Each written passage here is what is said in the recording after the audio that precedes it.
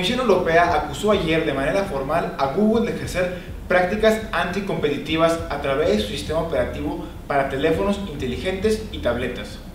De acuerdo con los comisionados encargados, la empresa obliga a todos los productores de dispositivos móviles a dar un trato preferencial a sus aplicaciones como condición para poder utilizar Android.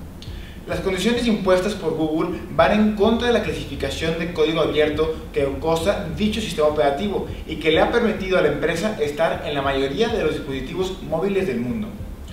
Por otro lado, los críticos afirman que la investigación es solo un intento más de las autoridades para realizar prácticas proteccionistas en el mercado que favorecen solamente a los desarrolladores europeos. No obstante, si los comisionados de la Unión Europea determinan que Google sí incurrió en prácticas anticompetitivas, no solo impondrían una gran multa a la empresa, sino que podrían modificar la forma en que se producen los dispositivos móviles en todo el mundo. Para conocer de este y otros temas puedes ingresar a la página reporteindigo.com. Muchas gracias y hasta la próxima.